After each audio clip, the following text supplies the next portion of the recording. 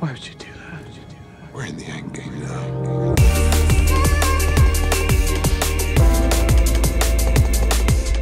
By now, you would have seen a whole stack of RTX 5090 reviews and videos and somewhat understand how these cards perform.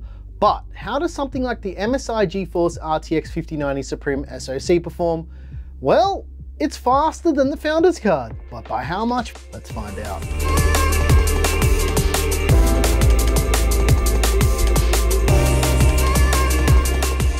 Let's make this easy for you guys to understand. I'm gonna try not to get too technical because I can see that if I start going too technical, most of your eyes are gonna start glazing over and you're gonna skip the video. The MSI GeForce RTX 5090 Suprim SOC is built on the new NVIDIA Blackwell architecture and features 32 gigs of GDDR7 memory. The Suprim SOC has a BIOS switch feature on the card so you can switch between silent and gaming modes. Keep in mind that all MSI cards will ship in silent mode, so you'll need to toggle the switch for all of the performance to be unlocked. The size of the card is, to be honest, this thing is ridiculous. The card itself is 359 millimeters long, and this is a quad slot chunk. This thing is absolutely massive, and to be honest, it's uh, pretty heavy to hold up this high. As far as the pricing is concerned for the Suprim SOC, this card will probably cost more than 2000 US dollars, but as for the actual price, I've got no idea. The card technically still isn't out by the time this video is going to go live. In terms of power delivery and consumption, the 5090 Suprim SOC requires a single 12 volt high power cable and will consume on average around about 600 watts at full tilt and it will idle around about 34 watts. As for the thermals, the MSI GeForce RTX 5090 Suprim SOC is pretty good in that department. The GPU maxed at around about 69 degrees Celsius and about 70 degrees at the memory junction over our one hour stress testing period. To test all of the new GPUs that you're about to see in this video, I used the same test bench that I used for all of our 50 series content with the AMD Ryzen 7 9800X3D. All right, let's jump into some testing. I'm not gonna bore you with me talking about all the results here.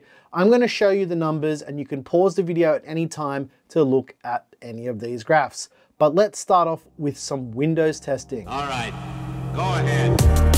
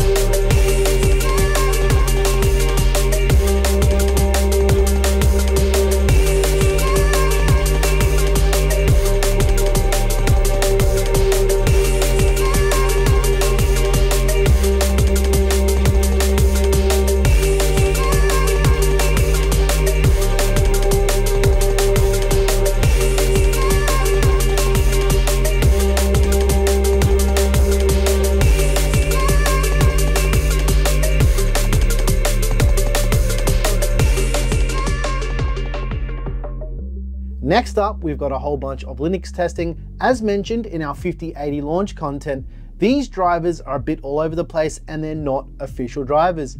I'm also aware that the kernel version is pretty old, but these drivers in their current state do not work on a newer kernel or any other distros. Otherwise, I would have used a newer kernel or a different distro. We just need to clear that up. Okay, let's take a look at those results. And yeah, there's gonna be some typos here, but not in the actual graphs themselves. I hope that makes sense.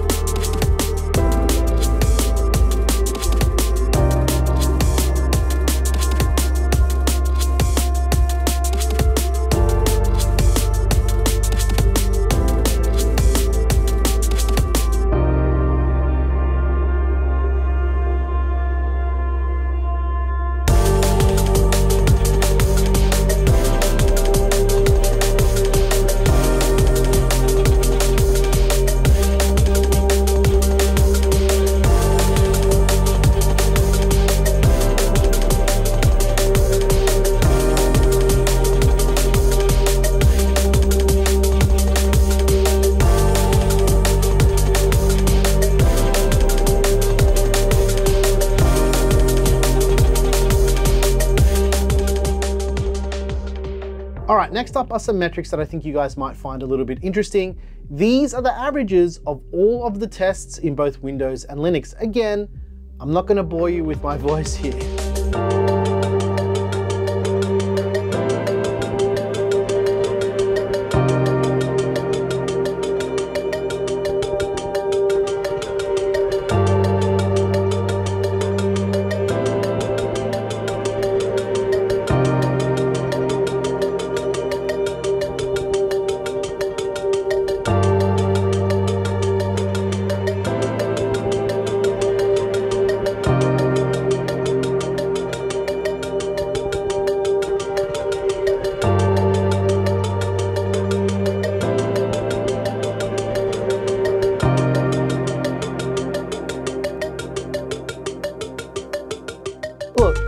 I'm gonna be honest, I'm not gonna bang on about this card too much. This is one of the top tier RTX 5090 cards available, and I think that MSI has done a good job with the design of this card. If anything, it's a little bit overkill in terms of the overall design, but that's kind of the point of the Suprim cards. They're supposed to be the top dog. They're supposed to be absolutely ridiculous, and this card is massive and absolutely ridiculous. Look at it, it's a four slot chunk. With this card in gaming mode, it does squeeze a little bit more performance out of the card by pumping the power draw up to 600 watts. In silent mode, it's the stock 575 that you'll find with the Founders card.